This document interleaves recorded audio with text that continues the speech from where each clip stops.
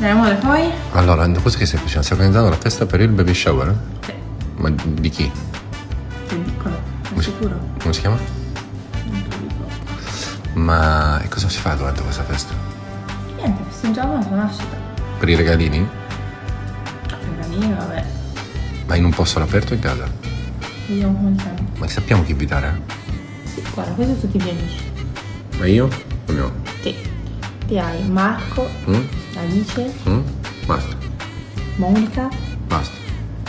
Marco Ranieri, Raineri. Aineri. Fabrizio Corona e la sua compagna, Sara, sono in pieno fermento per organizzare il baby shower in vista dell'imminente nascita del loro bambino. L'evento, che si preannuncia speciale, è già attesissimo dagli amici e familiari, con una lunga lista di invitati che cresce giorno dopo giorno. Tutti sono in trepidante attesa di scoprire come sarà questa festa, che promette di essere un'occasione di grande celebrazione. Fabrizio, noto per la sua personalità esuberante, è coinvolto attivamente nei preparativi e contribuisce alla stesura della lista degli invitati, seppur con la sua solita dose di ironia. Non mancano battute e momenti divertenti durante l'organizzazione, ma la coppia sembra concentrata nel rendere questo evento memorabile. Il baby shower sarà sicuramente un momento di gioia e condivisione in cui amici e familiari si riuniranno per festeggiare l'arrivo del piccolo.